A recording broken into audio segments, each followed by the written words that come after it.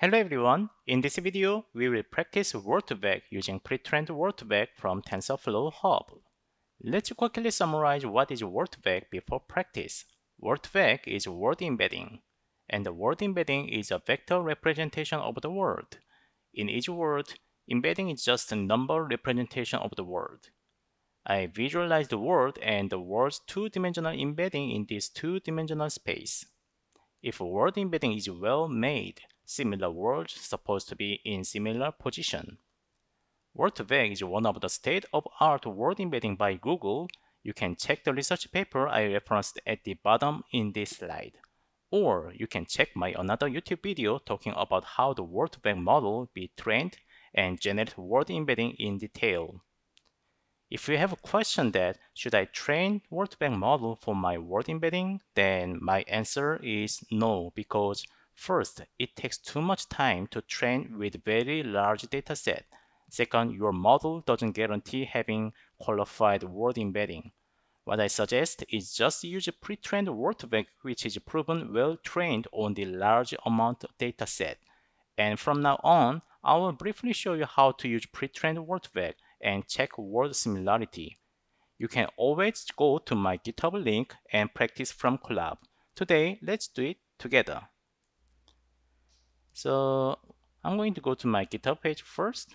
And here you can just click on this button. This button will redirect you to the Colab page where you can practice just using the Jupyter Notebook. It will take a little bit time to load the Jupyter Notebook on your browser. Now you have it. So you just shift enter. On the first line, it will ask you just click on the run anyway and you will import TensorFlow and the TensorFlow hub so you can take the pre-trained word2vec in your Jupyter Notebook and you will use NumPy to get the similarity between words. Here I'm going to run this line to load pre-trained word2vec. This will take some time and here I'm using hub.load function and this link is from here TensorFlow hub. You can just search word2vec in here in search box and you can see multiple word2vec which is already pre-trained by somebody. And here I'm going to use this wiki word 250 with normalization one. So you click on this one, then you will see detailed information about this one. Well, most importantly, you can just use this line. I use this line, as you can see from my Jupyter Notebook. And here's more details, and uh, you can see the reference is from the Thomas Mikolov. I really suggest you read this research paper or you can just go to my another YouTube video so that you can see how this word2vec is being trained and uh, how this gets the word embedding. Well, so now we will use this one. So I'm going to test with these four words, coffee, cafe, football, and soccer. Since this word embedding has 250 dimension, if you print out this one, then you will see 4 and 250. This 4 means you have four words, coffee, cafe, football, and soccer.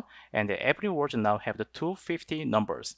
So if we print this out, then you will see uh, 250 numbers for the coffee because I printed out the first embedding. Embedding 0 means coffee. Alright, so let's see the similarity. I'm going to use the NumPy to see the similarity between the words. Well, you can see the coffee and coffee has one means it's the same word. So one meaning same word.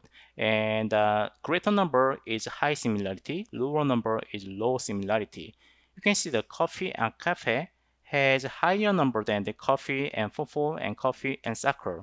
Obviously, the football and soccer uh, has a higher number than the football and the uh, coffee.